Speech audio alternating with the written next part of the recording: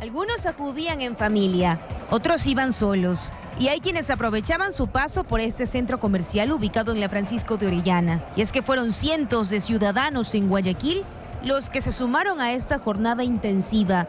Yo me refuerzo desplegada en puntos estratégicos de concentración masiva. La idea es los refuerzos, ¿no? Pero si viene una persona por una primera dosis, una segunda dosis, igual tenemos todo el, el, biológico para poderlos vacunar sin ningún problema. En Garzota también tenían todo listo, no solo para quienes acudían por sus dosis de refuerzo, sino para quienes lo hacían por primera vez.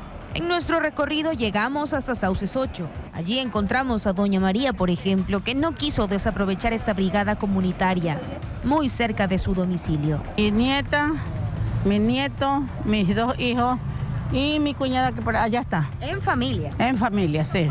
Hay que poner el hombro y vacunarse. Obvio. Fueron 30 los puntos habilitados para la minga de vacunación entre Guayaquil, Durán y San Borondón. Esta es mi cuarta dosis, por ejemplo. Yo me había puesto tres dosis de Pfizer, ahorita Sinovac. A mí me dio en la sexta ola recientemente hace dos meses y me di cuenta que no es un chiste. La afluencia de personas fue baja. Así lo observamos en la unidad educativa José María Egas, al sur de la ciudad. Muy poco número de personas acuden a vacunarse. Ya esto es responsabilidad de cada persona. Un escenario que se repitió en la Universidad Politécnica Salesiana. Hay que aprovecharlas para no enfermarnos gravemente, pues.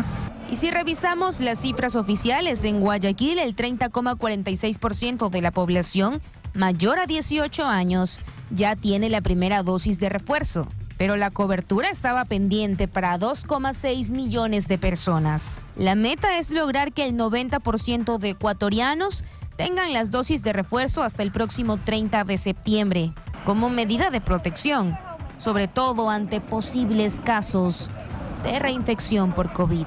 Vanessa Robles, 24 horas.